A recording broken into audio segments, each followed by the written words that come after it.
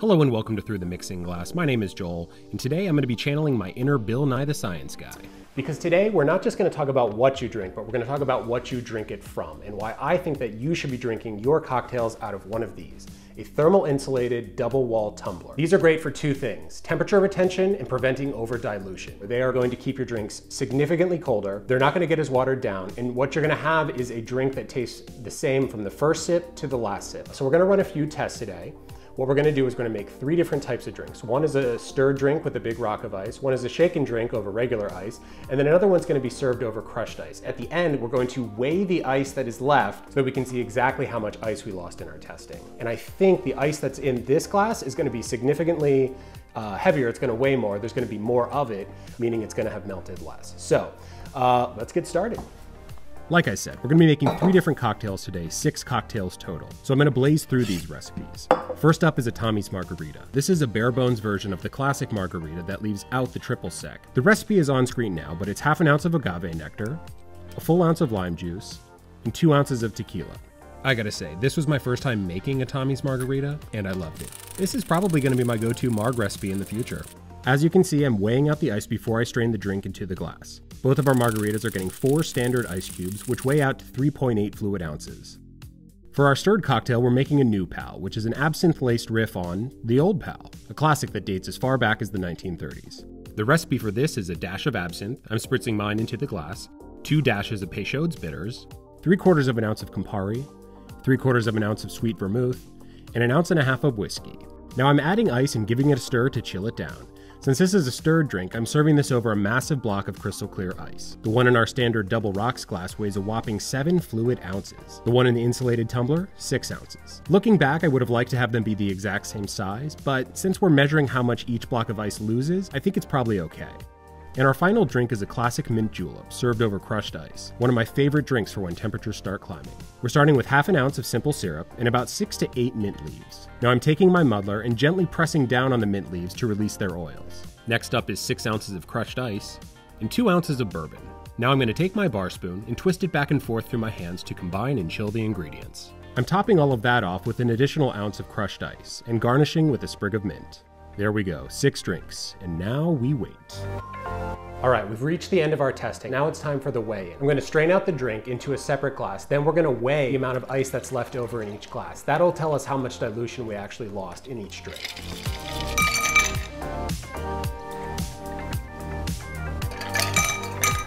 All right, first round is done, the Tommy's Margarita. In the glass, two additional ounces of water added to the drink through dilution from the ice melting. In the tumbler, only 0.7. 0.7. That's like almost nothing. That is just, that's really impressive. I, I thought this was gonna be a, a, blowout for the tumblers, but I did not expect it to be that significant. That's 1.3 ounces of, of dilution saved from your drink. That's big. It tastes great. It, it honestly, it tastes like it's brand new. It tastes like it was freshly made from a bartender. Delicious. Mm. It's a good drink, but it's super watered down. You could drink this, but you know, it's just not that great. Let's do the new pal next.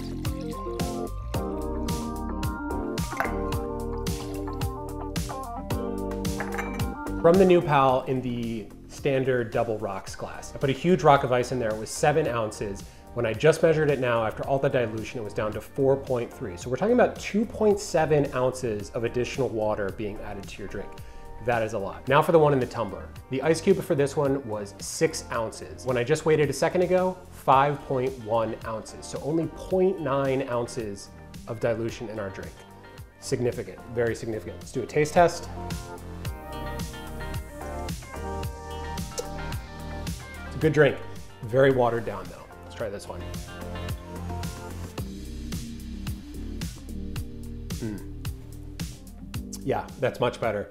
Each of the ingredients, you can kind of pick out the notes a little bit more, really nicely balanced. This one, it's just so extremely watered down that it, it kind of tastes, it tastes like you've, it, it tastes like it's been sitting out for an hour and then you went back to drink it, which is exactly what happened. And finally, the mint julep, served over crushed ice.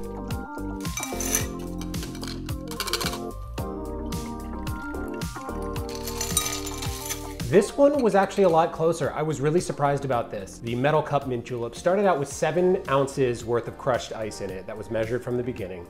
and it has 4.3 ounces left. This one, same story, seven ounces of crushed ice in it, came out with 4.6, only 0.3 additional ounces of dilution in the metal cup. I gotta say, I was very surprised by this. I did not expect it to be anywhere near as close. Was it the shape of the ice? Was it because I packed it in pretty tight and then put additional crushed ice on top? Um, these are all factors that I would love to hear your thoughts on. Why do you think there was not as much dilution in this one? So let's wrap this up and talk about our results.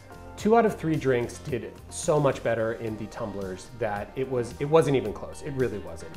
In the third one, the mint julep, it was much closer. To me, I think this is kind of a runaway success. I think it proves that these cups are much better than standard glassware. So let's talk about when you would want to use these types of cups. If you are a visual person, this probably isn't gonna be for you. Um, if you'd like to post pictures of your drinks on Instagram or share them with your friends, this isn't gonna be, you know, no one's gonna be wowed by you posting a video of a drink in a metal cup. Uh, you wanna be able to see them. That's a big part of the drinking experience. But if you're like me, if dilution drives you crazy, if you hate getting to the end of a drink and it tasting super watered down, if you were at a picnic or a barbecue, this would be a no-brainer. If you were, if it's really hot out, if you have a larger drink, I think these are all reasons why you'd want to use something like this. But let me know what you think. Would you ever consider this? Are there drinks that you would drink this out, that you would use these types of cups with, but you wouldn't do them for others? Let me know in the comments. I'd really love to hear what you think about this one. Thank you so much for watching. If you haven't already, please hit subscribe. Please share this with your friends. I really appreciate it. Thank you so much. Cheers.